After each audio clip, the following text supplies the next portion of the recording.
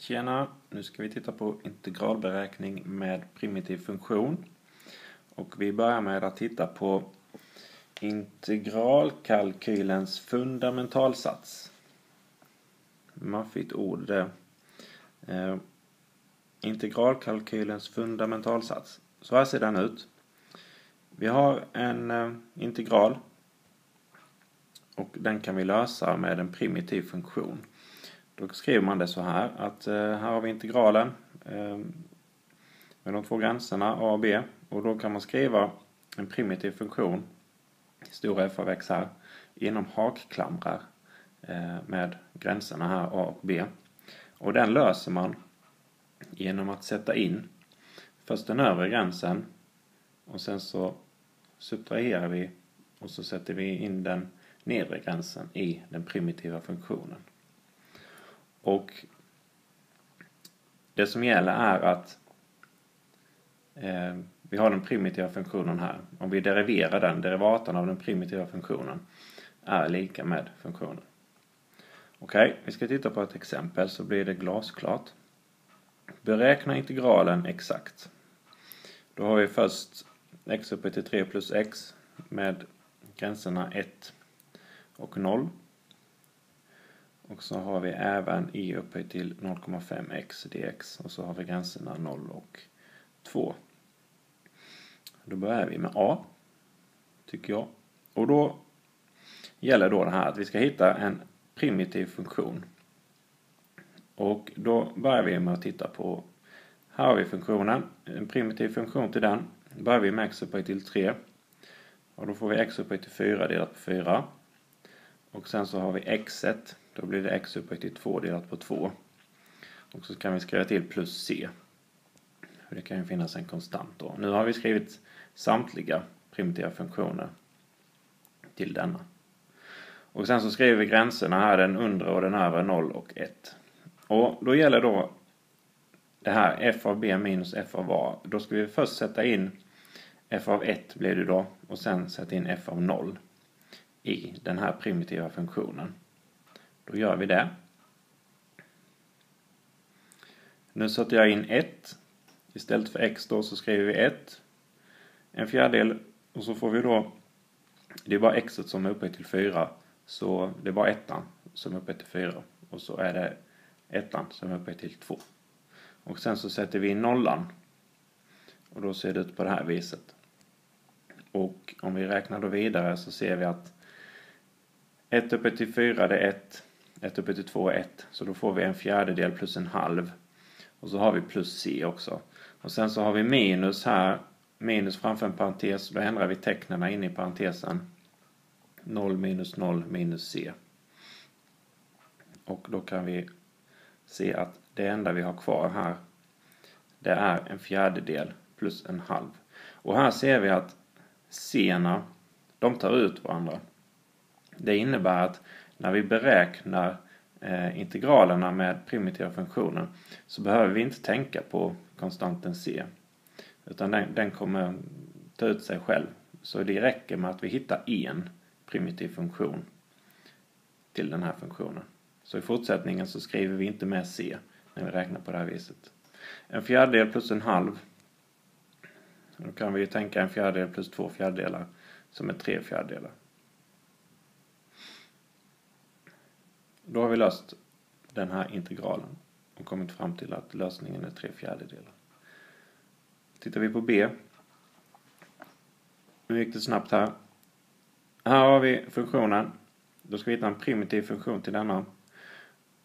Vi vet ju att E är sin egen derivata och alltså blir den primitiva funktionen likadan. Men vi har konstanten K här, 0,5.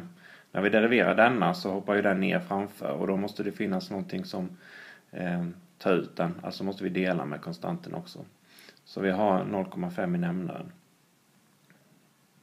Och så har vi gränserna 0 och 2. Då börjar vi med att sätta in 2 i den primitiva funktionen. Då ser det ut så här att istället för x så har vi en 2 här. Och sen så sätter vi in 0. Och så räknar vi vidare. e upphöjt till 0,5. 0,5 multiplicerat med 2 det blir 1. Så då blir det E upphöjt till 1 delat på 0,5. Och här får vi ju 0,5 gånger 0, det är 0. Alltså E upphöjt till 0. Och allting upphöjt till 0, det vet vi ju, ja, att vi skrev ihop det under samma bråkstreck. Om vi har två, vi har en subtraktion här, vi har samma nämnare, 0,5, 0,5. Då kan vi skriva det på ett gemensamt bråkstreck, Så e upphöjt till 1 minus e upphöjt till 0 delat på 0,5 på det här viset. Och e upphöjt till 0, allting upphöjt till 0 är ju 1. Så därför får vi en etta här. Så e minus 1 delat på 0,5. Det är okej okay att svara så här, men vi kan snygga till det lite.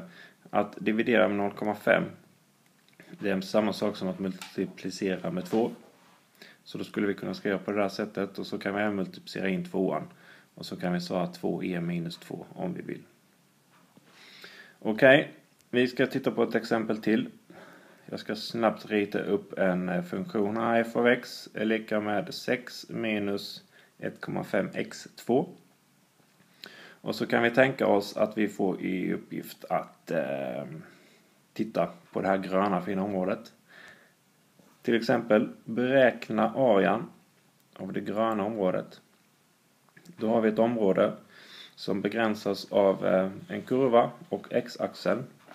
Och då löser vi det med en integral. Och då gäller det att hitta då integralen. Och då tittar vi på den undre gränsen, den är minus 2 och den övre, den blir 2. Och då skriver vi det alltså på det här viset. Och sen så skriver vi ut funktionen. Har vi här. Och så dx. Så löser vi det med en primitiv funktion. Då tittar vi först på sexan. Den primitiva funktionen då börjar med 6x. Och så kan vi skriva minus 1,5 och sen istället för x upphöjt till 2 så skriver vi x upphöjt till 3 delat på 3. Då har vi hittat en primitiv funktion där. Och så har vi gränserna 2 och minus 2. Och så när vi löser den här då så börjar vi med att sätta in det övre gränsvärdet. Tittar vi på det, där har vi en tvåa. Då sätter vi alltså in istället för x sätter vi in 2. 6 gånger 2. Och så sätter vi in en tvåa här, 2 upphöjt till 3. Sen får vi sätta in minus 2. Då har vi 6 gånger minus 2 minus 1,5 gånger minus 2 upphöjt till 3 delat på 3. Den första parentesen, ja, den blir 12 minus 4. Slår vi detta så får vi 4. Sen så har vi en parentes och så har vi 6 gånger minus 2, det är minus 12. Och sen så här kan det bli lite lurigt. Minus 2 upphöjt till 3. Det blir ju negativt, det blir minus 8. Så vi har alltså ett minustecken här. Och sen så ger även detta ett negativt tal. Det ger minus 4. Så här gäller det att hålla koll på tecknen. Alltså 12 minus 4 det är 8. Och sen så har vi minus och så tittar vi på parentesen här. Minus 12 och så har vi två minustecken, då blir det plus. Så då får vi minus 12 plus 4. Alltså 8 plus 8. För vi har ytterligare två minustecken här som ger plus. Vi får ju minus 8 in i parentesen här. 8 plus 8 är 16. Svar 16 A-enheter. Det betyder alltså att det gröna området här uppe, det är 16 A-enheter. Tack, hej!